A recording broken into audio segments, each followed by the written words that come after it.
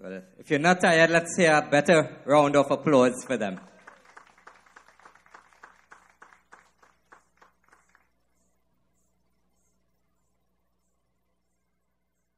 We certainly had an eye feast of dance this evening.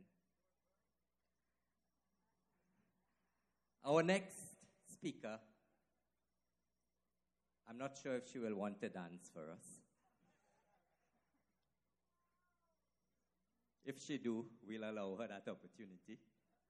Her name is synonymous with the People's National Movement. She's indeed a stalwart of the party. She held several ministerial positions. She's presently the MP, the Member of Parliament for uh, the constituency of Arima. She, she mentioned to me a little earlier that she is a southerner born and bred in Barrackpore, Bodnaf. And she said that she don't want me to do too many introduction because she will introduce herself. And I'm sure she'll do a better job than me. So she's no stranger to this side of the land.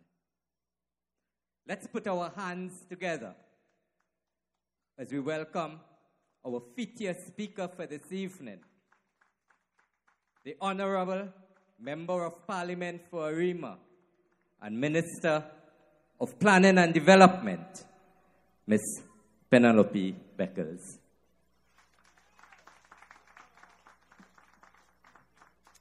Yeah, I'm good. Thank you very much, uh, Dr. Rampersad, Chairman of tonight's proceedings.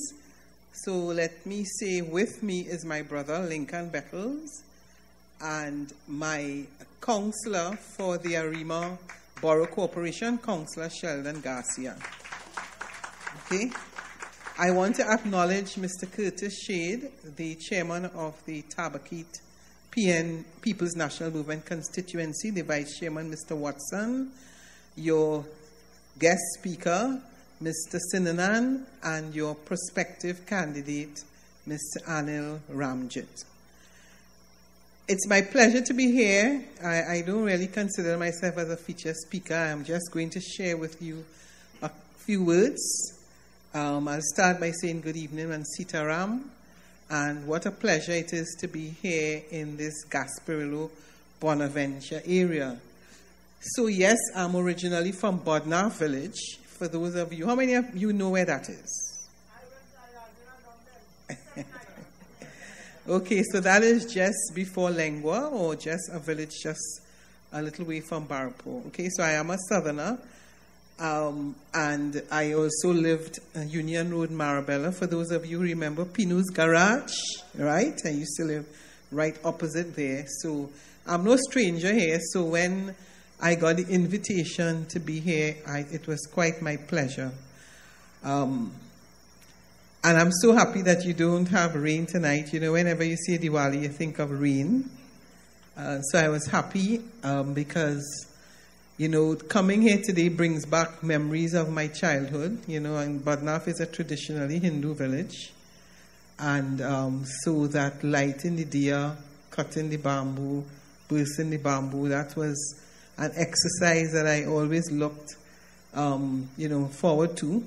I haven't had much of that when I moved up to the east, but my memories of San Fernando and those experiences are, you know, very special. So, you know, when you think of Diwali, as um, Mr. Sinanan said, and Dr. Rampersad and other previous speakers, you think about, you know, light over darkness, and um, you think about it's in a, it's a Christmas feeling for me whenever it comes. You know, you think about good over evil and um, knowledge over ignorance. One of the good things about Diwali um, for our indentured sisters and brothers who came from India in 1845 is that it allowed us the benefit of what we are seeing tonight so that we have now that you can play a bhajan on the steel pan and that you know, they were allowed, of course, to keep their culture. So, you know, some people are always fascinated by the fact that, you know, you know, a lot of the Indians have been able to maintain their dress, maintain their culture, be able to comfortably speak Hindi. And that was one of the benefits of coming in 1845 after slavery was ended. So, as Trinidadians and Tobagonians, one, one of the beauty of being in a multicultural, multi ethnic, multi religious society is that we could come tonight and we could enjoy the skill, the gifts, the crafts of the artists, of the dancers. And I am so happy to see Suzanne tonight and her, and her group. And you all don't know how fortunate you are to have had one of our best um, bands in Trinidad and Tobago performing here tonight. So let's give them a round of applause. So, you know that, that the level of comfort that we all feel um, for Diwali to be able to wear, you know, to go and purchase Indian wear, and of course look forward to, to the food, because part of the integration is the fact that you now have the benefit of eating, you know, Indian food, you have the benefit of of understanding the culture. You also have the benefit of comfortably wearing, you know, Indian wear and understanding, you know, exactly what their culture is about, like we do when there is emancipation and when we have Eid and when we have other religious festivals. It's part of the integration of a country and a society that many other people envy in many parts of the world because you really don't see it in many parts of the world. And that is what fascinates um, people when they come to Trinidad and Tobago.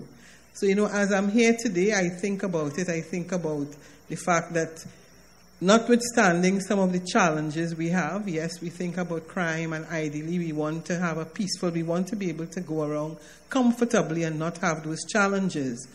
But one of the things that gives us hope is events like these. And I really want to use the opportunity to congratulate, um, you know, the Mr. Shade, Mr. Ramjit, Mr. Watson, the entire Tabaquite constituency for organizing this event, and more importantly, that all of you have stayed throughout the entire event, and that is a testimony to the fact that you have enjoyed it. So let's celebrate and give them that round of applause. So now the interesting thing is that Diwali was first celebrated in 1966. Eric Williams um, declared that a holiday, and since then it is celebrated every year. And it is something we all look forward to. Um, Thursday is a day we hope and pray that we won't have rain so that all the different villages would be able to continue to light their diya. Now, I've, I've noticed that we, you know, there's now the modern diyas with batteries where they will just turn it and the light comes on. Of course, those of us who have grown up in villages still like the, the uh, to be able to see just what I'm seeing here tonight and the fact that the children will go and put the ghee and so. I mean, that is something that gives you a different the community spirit that I think Mr. Sinanan and Dr. Rampersad and all of us spoke about. You lose that when the children are not able to go around and light the diyas. So I just want to congratulate everyone. I know it's late, so today is not a day for speeches, but it's my absolute pleasure to be here, and I just want to wish the villages of Gasparillo, Bonaventure, the entire constituency of Tabaquite, Shub Diwali. Thank you very much.